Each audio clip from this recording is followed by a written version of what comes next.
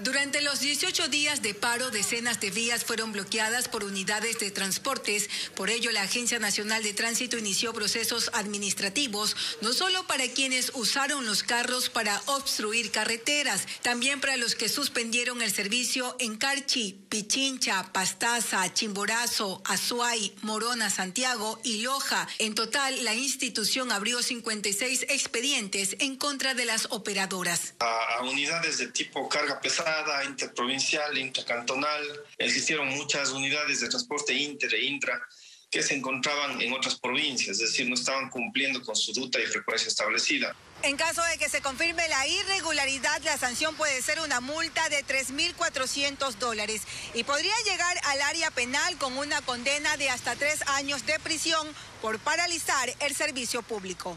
En Azuay, Cuenca fue una de las ciudades con más calles y avenidas bloqueadas por taxis y buses. El municipio también inició sanciones. Se identificó más de 500 unidades de transporte de las diferentes modalidades agrupadas en cinco eh, compañías o cooperativas. La Federación Nacional de Transporte Pesado del Ecuador aclara que hubo excepciones, pero que más del 95% de la transportación del país no se sumó al paro e incluso fueron atacados. Varios camiones sufrieron roturas de vidrios, eh, daños en llantas, eh, daños en algunos vehículos, inclusive en la mitad del mundo un vehículo fue incendiado.